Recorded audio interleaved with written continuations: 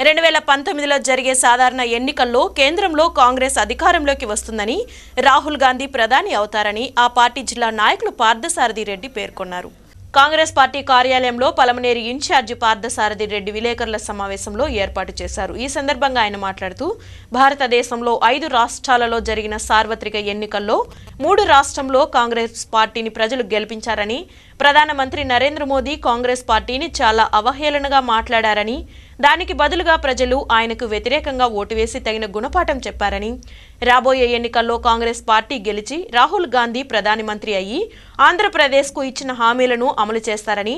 ఆంధ్రప్రదేశ్లో ఉన్న ప్రతిపక్ష పార్టీ కాంగ్రెస్ అవాకులు చవాకులు చేయడం ఇప్పటికైనా మానుకోవాలని తెలిపారు. ఒక్క సంవత్సరంలో జరిగినటువంటి ఎన్నికల ఫలితాలు చూసినప్పుడు వారు కూడా చాలా ఆలోచనాపరంగా నిరంతరాయంగా ప్రజలతో ఉండి ప్రజా సమస్యలపైన పోరాటం చేసి దేశ భవిష్యత్తుకి యువత భవిష్యత్తుకి రైతుల ఆశాజ్యోతిగా ఈ దేశాన్ని